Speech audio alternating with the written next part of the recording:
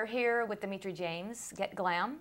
Dimitri, you're going to tell me about some do's and don'ts for my night out and what I should wear. Okay, so just a couple pointers with, with getting glammed up for night. Okay. Anywhere you add sparkle, sequins, rhinestones, pattern, bright pattern, and sometimes even velvet, Okay. you're going to add five to 10 pounds. Oh. Yeah.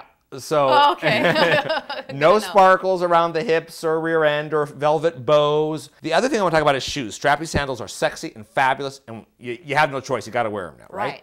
Here's the problem with ankle straps. If you have a thin ankle and a nice leg, wear the ankle strap. They're sexy and fabulous, and they always make you look glam. Now, if you don't have pedigree ankles, what you want is um, this type of shoe. You want a high enough heel um, to make the leg look slender and the calf and, and the ankle looks slender and then very sexy. This gives you a strappy effect uh, Right. on the front, on the instep. So the perfect shoe for that if your if your ankles are a little thicker. What you see on the cover are fancy evening gown type tops with like a very casual pant or jean or any denim uh, or a legging and a strappy sandal. And I want to show you how you can get that look for so little. Now I went to my local thrift store and I cut them off at different areas and I'll show you. Right. And then you wear these tops over jeans or leggings. And let me start with the first one. These were all full length gowns. Wow. The first one is strapless and it was a peplum top. And it was actually a very well made dress. Now, I cut this off uh, right at the hip. What makes this so great is that it flares out. What's that going to do? It's going to hide a tummy bump or bulge. So if you're feeling Oh. bloated or you got a little bit of a tummy, you want this peplum top that falls just like this. That's Now- the bloat top. Right. And now all of these go perfect over jeans with a strappy sandal or over um, leggings and a strappy sandal. This is very in right now, it's, and it's a lot of fun. This is fabulous. Now, can't you just see this over over jeans oh looking gosh. amazing?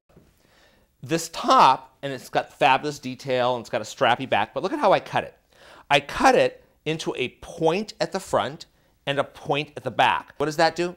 It will slim large or wide hips. That's mine. So That's- right. that's so the one I need. creating that V in the center will slim your hips. Okay.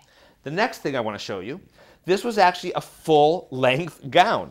Right. And I cut it uh, right below the hips. So what I like about this one is that the, the vertical stripes will elongate and slim, and then where you want to add weight and volume is across the bust. We so all we're do. right, fuller bust, empire waist, very slimming, and then stripes on top of it. Now the next one I want to show you is uh, super fun. And once again, what does bling do? Yeah. It adds five to 10 pounds wherever you place it. So here you've got the bling where you want it, and you have some great back detail. Right. Thick or wide straps at the shoulder are good for smaller shoulders. If you have wide shoulders or you're a bit bulky on top, you want a thinner spaghetti strap to uh, make you look more elegant. Okay. Now, here we're going to bring the eye's attention, and look what we did. We cut it across the midriff sideways to the hip. What this is going to do is elongate a short torso. Just remember, wherever you add bling, sparkle, rhinestones, sequins, and even velvet, you're adding 5 to 10 pounds. Choose accordingly then. Choose accordingly. You've been watching Get Glam from itsaglamthing.com.